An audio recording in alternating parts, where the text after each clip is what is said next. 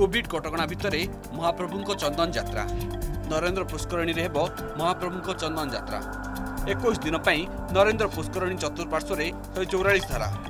ପଚାଶରୁ ପଞ୍ଚଷଠି ଜଣ ସେବାୟତଙ୍କୁ ନେଇ କୋଭିଡ କଟକଣା ଭିତରେ ହେବ ଚନ୍ଦନ ଯାତ୍ରା। ବୁଧବାର ସମ୍ପୃକ୍ତ ସେବାୟତଙ୍କ ହେବ ଆର୍ଟିପିସିଆର ଟେଷ୍ଟ। କେବଳ ନେଗେଟିଭ୍ ରିପୋର୍ଟ ଥିବା ସେବାୟତ ହିଁ ଚନ୍ଦନ ଯାତ୍ରାରେ ସାମିଲ ହୋଇପାରିବେ। ସେପଟେ ଏକୋଇଶ ଦିନ ପାଇଁ ନରେନ୍ଦ୍ର ପୁଷ୍କରଣୀ ଚତୁଃପାର୍ଶ୍ୱରେ ଶହେ ଚଉରାଳିଶ ଧାରା ଜାରି ହୋଇଛି। ଗତବର୍ଷ କରୋନାର ପ୍ରଥମ ଲହର ଯୋଗୁଁ ଭିତର ଓ ବାହାର ଚନ୍ଦନ ଯାତ୍ରା ଶ୍ରୀମନ୍ଦିର ଭିତରେ ଅନୁଷ୍ଠିତ ହୋଇଥିଲା। କିନ୍ତୁ ଚଳିତ ବର୍ଷ ପରମ୍ପରା ରୀତିନୀତି ମୁତାବକ ନରେନ୍ଦ୍ର ପୁଷ୍କରିଣୀରେ ଜଳକ୍ରୀଡ଼ା କରିବେ ମହାପ୍ରଭୁ। ଶ୍ରୀମନ୍ଦିର ମୁଖ୍ୟ ପ୍ରଶାସକଙ୍କ ଅଧ୍ୟକ୍ଷତାରେ ଛତିଶା ନିଯୋଗର ଭର୍ଚୁଆଲ ବୈଠକରେ ବାହାର ଚନ୍ଦନ ଯାତ୍ରା ନେଇ ମୋହର ବାଜିଛି। ବିନା ଭକ୍ତରେ ସୀମିତ ସଂଖ୍ୟକ ସେବାୟତଙ୍କୁ ନେଇ ଚଳିତ ବର୍ଷ ମହାପ୍ରଭୁଙ୍କ ବାହାର ଚନ୍ଦନ ଯାତ୍ରା କରାଯିବ। ଏଇ ଚନ୍ଦନ ଯାତ୍ରା ଆମେ ମନ୍ଦିର ବାହାରେ କରିବା।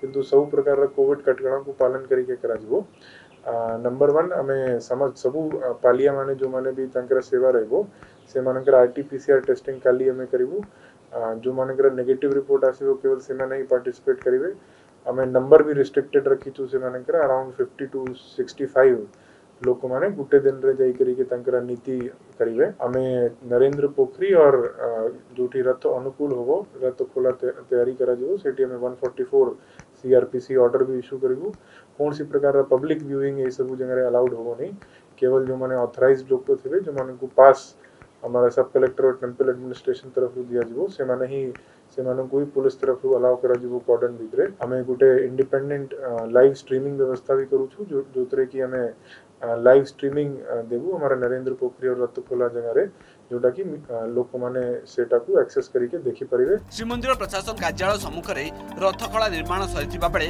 ମହାପ୍ରଭୁଙ୍କ ବାହାର ଚନ୍ଦନ ଯାତ୍ରା ପାଇଁ ଶ୍ରୀମନ୍ଦିରଠୁ ନରେନ୍ଦ୍ର ସରୋବର ଯାଏଁ ବିଭିନ୍ନ ସ୍ଥାନରେ ଛାମୁଣ୍ଡିଆ ନିର୍ମାଣ ସରିଛି ଅନ୍ୟପଟେ ମହାପ୍ରଭୁଙ୍କ ଜଳକ୍ରୀଡ଼ା କରିବାକୁ ଥିବା ନରେନ୍ଦ୍ର ପୁଷ୍କରିଣୀ ମନ୍ଦିର ଓ ଚକଡ଼ାର ରଙ୍ଗ କାମ ସରିଛି। ଏନେଇ ଉଭୟ ରଥଖଳା ଓ ନରେନ୍ଦ୍ର ପୁଷ୍କରିଣୀ ଯାଇ ସ୍ଥିତି ପରଖିଥିଲେ ଜିଲ୍ଲାପାଳ। ତେବେ ମଙ୍ଗଳବାର ଅନୁଷ୍ଠିତ ଛତିଶା ନିଯୋଗ ବୈଠକରେ ଏସ୍ଓପି ଅନୁଯାୟୀ ସୀମିତ ସଂଖ୍ୟକ ପାଳିଆ ସେବାୟତ ଯଥା ପଚାଶରୁ ପଞ୍ଚଷଠି ଜଣ ସେବାୟତ ମହାପ୍ରଭୁଙ୍କ ଚନ୍ଦନ ଯାତ୍ରାରେ ସାମିଲ ହେବା ସହ ସେମାନଙ୍କୁ ଶ୍ରୀମନ୍ଦିର ପ୍ରଶାସନ ତରଫରୁ ପାସ୍ ଯୋଗାଇ ଦିଆଯିବ। ସେପଟେ ବିନା ଭକ୍ତରେ ଚନ୍ଦନ ଯାତ୍ରା ଅନୁଷ୍ଠିତ ହେବ ବୋଲି ଛତିଶା ନିଯୋଗ ସଦସ୍ୟମାନେ ମତ ଦେଇଛନ୍ତି। ଏ ବର୍ଷ ଚନ୍ଦନ ପୋଖରୀରେ ଚନ୍ଦନ ଯାତ୍ରା ହେବା ପାଇଁ ନିଷ୍ପତ୍ତି ନିଆଗଲା ଏବଂ ଚନ୍ଦନ ଯାତ୍ରାରେ କିପରି ପ୍ରଭୁଙ୍କ ନୀତି ଠିକ୍ ଭାବରେ ହେବ ତା ବ୍ୟବସ୍ଥା କରାଯିବ କିନ୍ତୁ ଭକ୍ତଙ୍କୁ ସାଧାରଣ ଲୋକଙ୍କୁ ଆଲାଉ କରାଯିବ ନାହିଁ। କେବଳ ଯେଉଁ ସେବାୟତଙ୍କର ସେଦିନ ପାଳି ଅଛି ସେଇମାନଙ୍କୁ ଆଲାଉ କରାଯିବ। ତେଣୁ ଯେଉଁ ବିଧିବିଧାନ ହେବା କଥା ସେ ନନ୍ଦା ଓ ଭଦ୍ରାରେ ଚାପରେ ବର୍ତ୍ତମାନ ମହାପ୍ରଭୁ ବିଜୟ କରିବେ ଏବଂ ଯେତେ କମ୍ ସଂଖ୍ୟକ ସେବାୟତ ହେବ ସେତେ କମ୍ ସଂଖ୍ୟକ ସେବାୟତରେ ବର୍ତ୍ତମାନ ଚାପ କରାଯିବ ଏବଂ ଯଥାସମ୍ଭବ ନଅଟା ପୂର୍ବରୁ ଆସିବା ପାଇଁ ବନ୍ଦୋବସ୍ତ କରାଯିବ। ଯେହେତୁ ନାଇଟ୍ କର୍ଫ୍ୟୁ ଲାଗୁଛି ନଅଟା ଭିତରେ ଶ୍ରୀମନ୍ଦିରକୁ ପୁଣି ପ୍ରତ୍ୟାହାର ପୁଣି କରାଯିବ। ସବୁ ଆଶା ଆଶଙ୍କା ଉପରେ ପଡ଼ିଲା ପୁନଚେତ ନରେନ୍ଦ୍ର ପୁଷ୍କରିଣୀରେ ଜଳ କ୍ରୀଡ଼ା କରିବେ ରାମକୃଷ୍ଣ ମଦନ ମୋହନ ଶ୍ରୀଦେବୀ ଭୂଦେବୀଙ୍କ ସହ ପଞ୍ଚମହାଦେବ କରୋନା କଟକଣା ମଧ୍ୟରେ ସୀମିତ ସଂଖ୍ୟକ ସେବାୟତଙ୍କ ଦ୍ୱାରା ହେବ ବାହାର ଚନ୍ଦନ ଯାତ୍ରା ସେପଟେ ପବିତ୍ର ଅକ୍ଷୟ ତୃତୀୟା ଦିନ ହେବ ତିନି ରଥର କାଠ ଅନୁକୂଳ ସହ ରଥ ନିର୍ମାଣ କାର୍ଯ୍ୟର ଶୁଭାରମ୍ଭ। ପୁରୀରୁ ଭିଡ଼ିଓ ଜର୍ଣ୍ଣାଲିଷ୍ଟ ସନାତନଙ୍କ ସହ ଆଲୋକ ଆଶୁତୋଷଙ୍କ ରିପୋର୍ଟ ଅର୍ଗସ୍ ନ୍ୟୁଜ୍।